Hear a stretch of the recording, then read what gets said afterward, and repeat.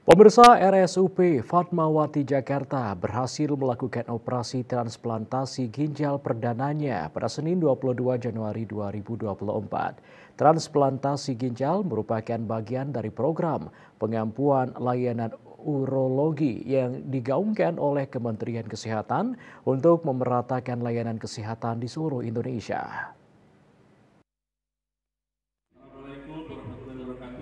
Waalaikumsalam. Bertempat di lobi dalam keterangan persnya, RSUP Fatmawati Jakarta berhasil melakukan operasi transplantasi ginjal perdananya pada Senin 22 Januari 2024. Transplantasi ginjal merupakan bagian dari program pengampuan layanan urologi yang digaungkan oleh Kementerian Kesehatan untuk memeratakan layanan kesehatan di seluruh Indonesia.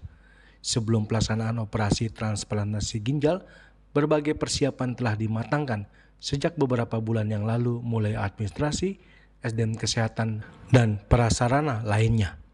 Persiapan dalam hal administrasi dan kelengkapan dokumen, RSUP Fatmawati telah mendapatkan rekomendasi dari Komite Transplantasi Nasional dan ditetapkan sebagai rumah sakit penyelenggara transplantasi ginjal oleh Kemenkes RI.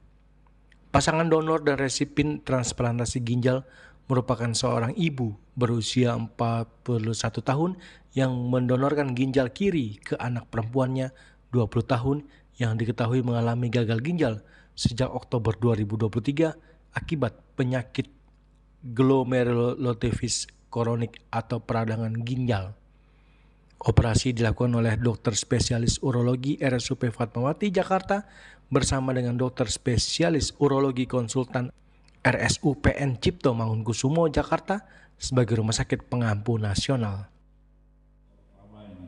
22 Januari hari Senin di Rumah Sakit Umum Pusat Fatmawati ini mencatat sejarah baru yaitu kita berhasil melakukan transplantasi ginjal yang perdana ya. Nah, program transplantasi ginjal ini memang menjadi program prioritas ya dari Kementerian Kesehatan mulai dari kanker, ada jantung, ada stroke, juga ada uronepro. Salah satunya adalah bagaimana transplantasi ginjal. Sebetulnya sudah banyak transplantasi ginjal di Indonesia ini Pak ya. Sudah ada beberapa center, tetapi Kementerian Kesehatan uh, memprioritaskan uh, program Uron Pro ini yang salah satu kegiatannya adalah transplantasi ginjal di seluruh rumah sakit rumah sakit vertikal yang besar ya. Seperti yang Medan kemudian Padang Palembang Wahidin di Makassar di Bali kemudian di Bandung dan seterusnya.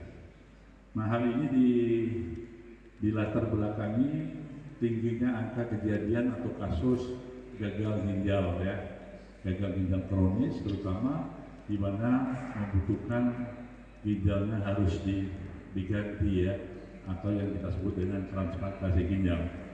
Nah hari ini alhamdulillah eh, tim dari transplantasi ginjal Fatmawati itu berhasil melakukan operasi yang pertama atau perdana dan tentu saja tetap di bawah Dari Jakarta, Juli Suwarto dan Ketut Sumadiasa melaporkan.